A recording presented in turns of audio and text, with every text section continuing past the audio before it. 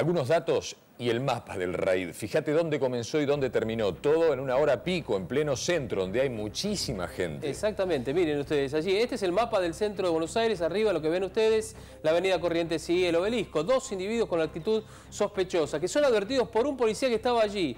Lo tratan de identificar y uno de los delincuentes se empuja al policía contra el segundo que ya estaba cerca de él. Y ahí se inicia la persecución, observen.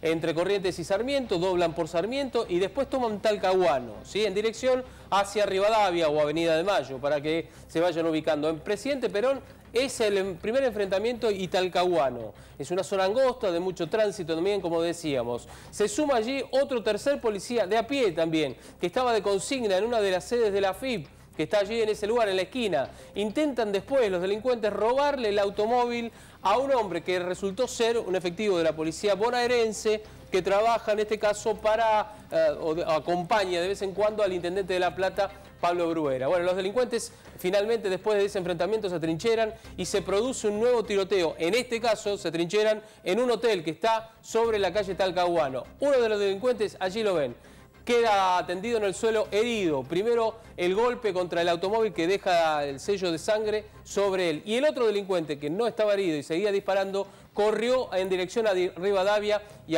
allí fue neutralizado. Los dos portaban armas de fuego. Uno de ellos una pistola calibre 9 milímetros, la que ven ustedes allí, y que quedó tendida en el lugar.